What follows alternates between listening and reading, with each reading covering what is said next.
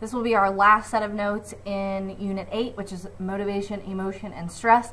And this notes being the set of notes on stress, both experiencing and coping with it. And that's what the standard is, and that you have to understand the phases of stress as defined by Selye, but then how, what recommendations there are according to research on how to cope with stress. So, what is stress? Psychological states cause physical illness, and that's something to just consider really quickly. Your psychological state can cause physical illness, and we'll talk about why. Stress is any circumstance that may be real or perceived and threatens one's well being. So, when severe stress is felt, it impairs our ability to cope with it. That's why stress is such an ugly cycle. And again, we're going to talk about how. How why is it that stress can cause can be so physically debilitating. So a stressor is a stressful stimulus. This is the thing. It's a condition demanding adaptation. Okay, so it is the car accident. It is the final exam. It is the thing that causes the stress. The stress is the physical and mental changes that occur in response to a stressor. It's your reaction to the challenging or threatening situation. So four components to stress, um, to the stress response. There's the cognitive appraisal. So you identify the threat and determine how to cope. And this is different for everyone in that some people cope very calmly, others not so much. Physiological response is the body's reaction. This is very similar to our experiencing of emotion, right? Um, so there's the cognitive appraisal and how we determine how we'll cope, the physical response. Subjective feelings would be the emotions that are tied. Do we cry? Do we regress or do we repress? Do we kind of avoid other people? And then behavior, taking the action taken because of the stress. And what does that look like? Stress is not merely a stimulus or response. It's a process by which we appraise and cope with environmental threats and challenges when short lived or taken as a challenge, stressors can have positive effects. And we've talked about that with Yerkes Dodson's law.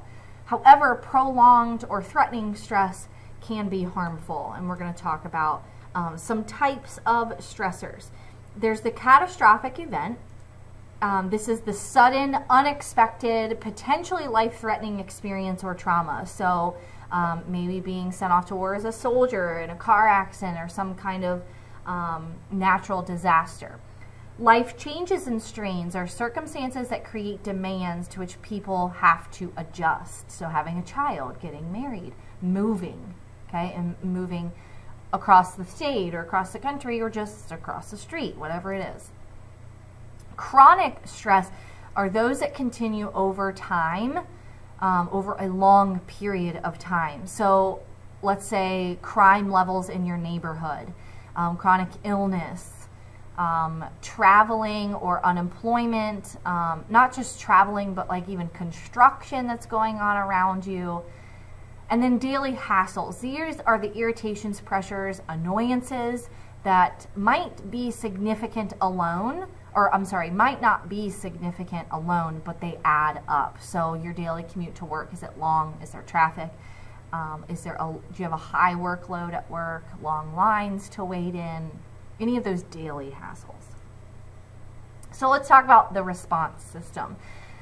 Cannon, as in Cannon-Bard, proposed that stress response, being fast, was a fight or flight response marked by an outpour of epinephrine norepinephrine, which is adrenaline, from our inner adrenal glands, increasing heart and respiration rates, mobilizing sugar, and ultimately preparing us for fight or flight, right? The hypothalamus and the pituitary gland also respond to stress, and this being more slow. So they trigger the outer adrenal glands to secrete cortisol, right, which is how we cope with stress. This is just the beginning.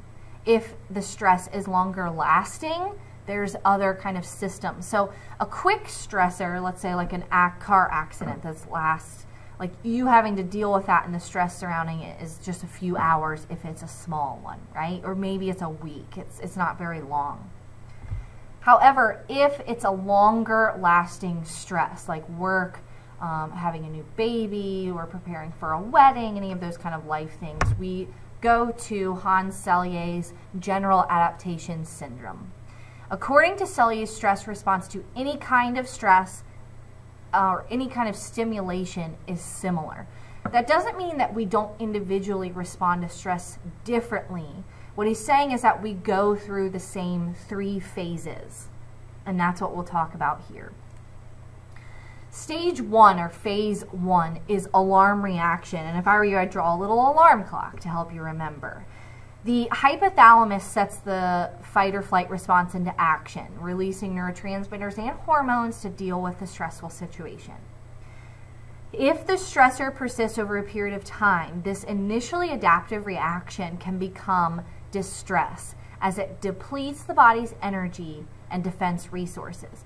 It can cause high blood pressure, deterioration of immune system, fatty deposits in blood vessels, ulcers, etc. So no wonder stress is so damaging.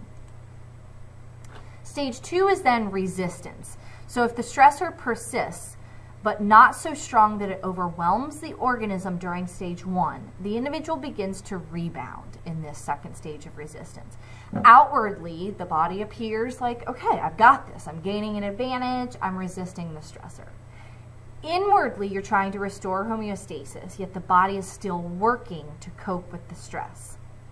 Resistance only applies to the original stressor. If another stressor is introduced, defenses could be so depleted that they may be unable to respond to the second stressor. Very interesting. The third stage is exhaustion. If resistance fails, so if the stressor doesn't go away or if we just cannot keep up with it and resistance fails to relieve the stress, the symptoms of alarm reappear in stage three with exhaustion. This time it's accompanied by even more powerful autonomic nervous system responses. It overcompensates and the body has already used so much energy that if the stressor is not removed, exhaustion and eventually death will occur. Usually there are warning signs of exhaustions like heart attack, um, clogged arteries, excessive colds and flus, frequent headaches. All of these things being signs that, whoa, you've got to do something about your stress levels. Think of it as this your sympathetic nervous system is never taking a rest and your parasympathetic nervous system is never kicking in to help calm you down. So you're never returning back to homeostasis if you are always stressed. Of course your body is going to be sick. Any stressor, including mental processes like worry, can affect one's health and resources like the immune system. Um, so the immune human immune response, which has evolved to deal with short-term stressors, may react to chronic stressors by breaking down and actually turning on itself. How in the world does this happen? Here's the thing there's no physical enemy for the immune system to battle. So the bodily responses become maladaptive and the body becomes more vulnerable to infection and injury. It's like it's fighting itself. So then when something external does come in, like the flu or some kind of infection, it can't fight it off. So it's a depleting our immune system.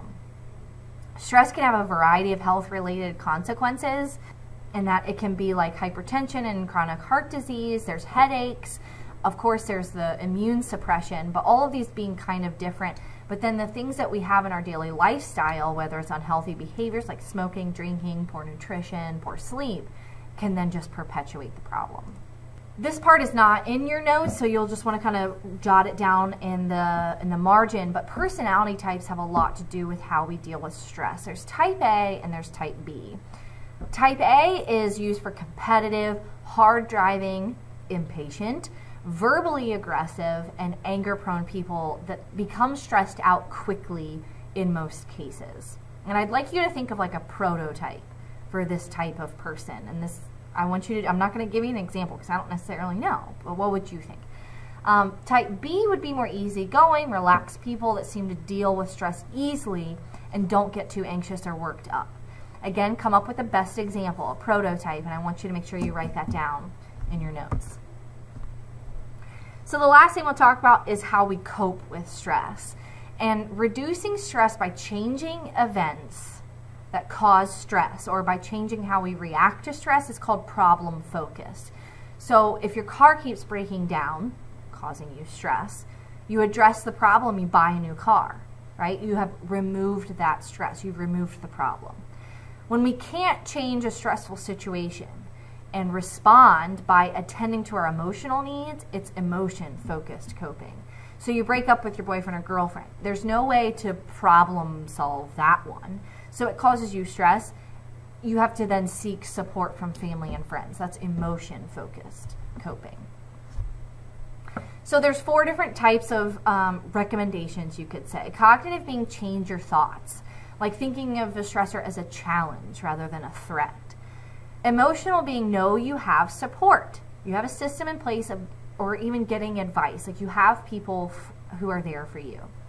Behavioral being changing your behavior to minimize the impact of stress. So this would be time management, getting rid of some activities, saying no to too many things. And then changing your physical responses could include medication, relaxation, or even exercise.